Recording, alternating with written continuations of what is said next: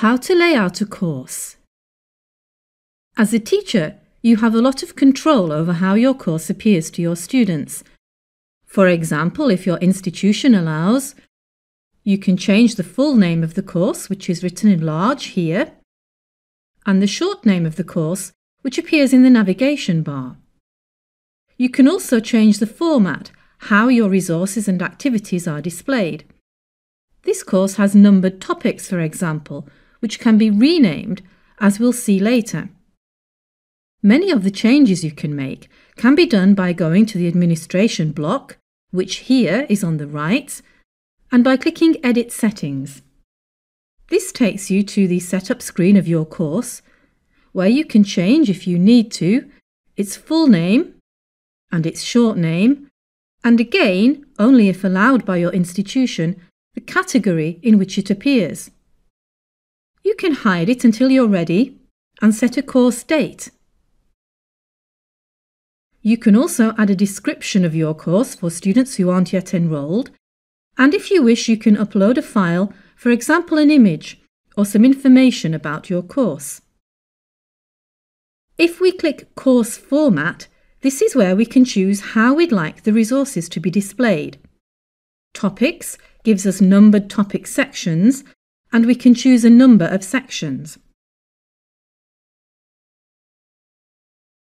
Here we can also select to have weekly format, where the sections are named as weeks, social format, which is basically just one big message board for discussing, or single activity format, which would allow you to add just one particular item, such as a SCORM package or a quiz.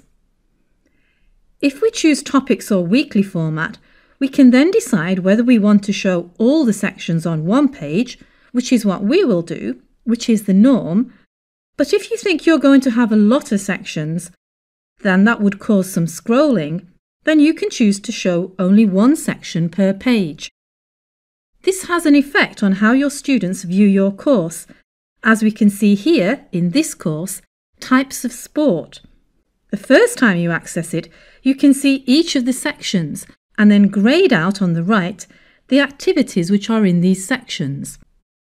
If you then click the link on the section, for example our second section, tennis, the student will then only see the activities in that particular section and they'll navigate to the other sections by clicking the name in the section on the right or on the left or by going to the Jump To menu and selecting from there.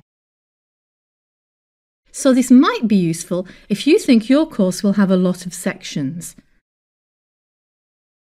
Clicking Appearance will allow you then to decide how many news items in your news forum you want to display. The news forum is simply for announcements and it isn't a discussion forum. If you set it to zero, you can then delete the news forum if you don't think it will be useful to you. Other options can be found by clicking on them and expanding them. For example, if you click and expand role renaming, if you don't want to call your students students, but you want a different name, learners for instance, then you can change the name here and that will appear just in your course. You can also tag your course to help new students search for it. If we now click to save, then in the next video, we'll turn on the editing and we can look at the changes we can make to our course. For example, how to rename the sections.